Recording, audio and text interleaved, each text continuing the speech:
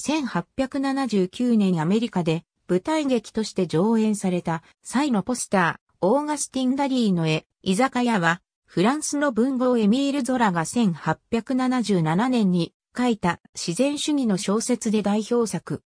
20巻シリーズのルゴン・マッカール総書の第7巻。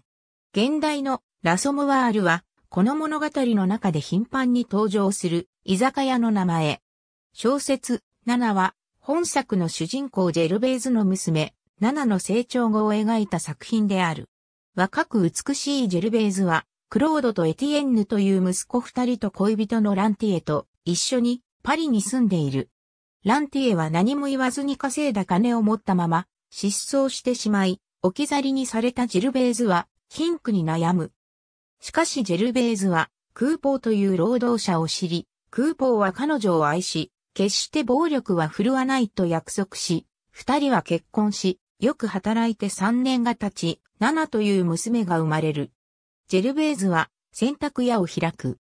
ある日、通りから呼んでいるナナを見るために、クーポーは窓の近くにより、そこから地上に転落し、働けなくなり、叫びたりになる。